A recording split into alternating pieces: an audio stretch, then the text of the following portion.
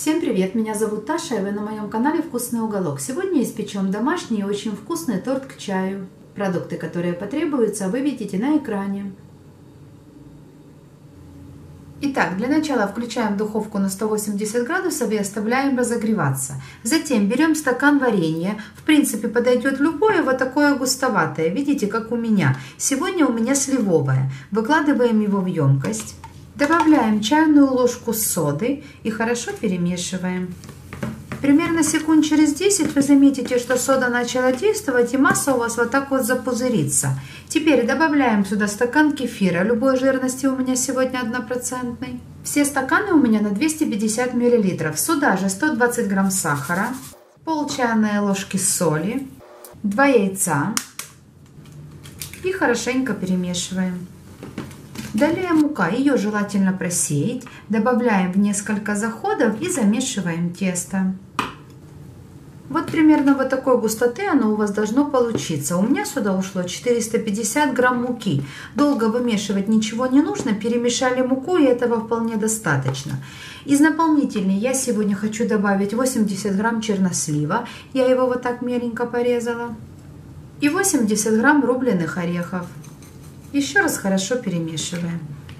Берем противень от духовки, у меня размером 43 на 33, я его устелила тефлоновым ковриком, также можно использовать обычную пергаментную бумагу. Выкладываем все тесто и равномерно распределяем. Все ставим в духовку и выпекаем примерно минут 20. У меня уже корж испекся, я его оставляю минут на 10, чтобы немного подостыл. После этого аккуратно поддеваю по краю. Накрываю решеткой от духовки и переворачиваю. Снимаю коврик, если у вас бумага, то бумагу.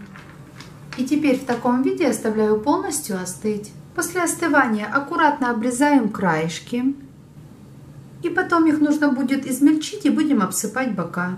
Теперь вот эту основу делим на три ровные части. Я уже себе сантиметром отмерила. И теперь смотрите, у меня получилось три коржа, можно оставить в таком варианте, но я хочу еще каждый корж, видите, он такой толстоватый, разрезать пополам. Тогда получится 6 коржей и торт будет более пропитанный. Вот так, резать нужно аккуратно, чтобы коржи остались целые. Видите, какая серединка? И толщина примерно миллиметров 5. Готовим крем. Для него я взяла 600 грамм сметаны жирностью 25%. Если у вас будет 30, то крем будет еще лучше и гуще. Она у меня очень хорошо охлажденная. И также вареная сгущенка. Она у меня тоже из холодильника. Вот такая она густая, видите? Теперь сюда в сметану я буду добавлять по одной столовой ложке и хорошо взбивать.